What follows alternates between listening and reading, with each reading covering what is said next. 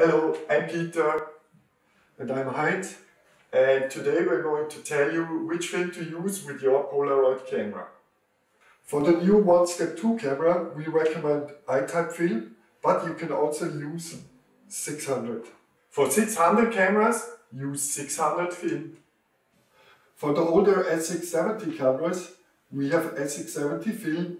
And finally, for the wide format image or Spectra cameras, we have Spectra film. Whenever you are in doubt about the right film type, open the film latch door and there will be a sticker telling you which film to use. So now you know which film to use with which camera.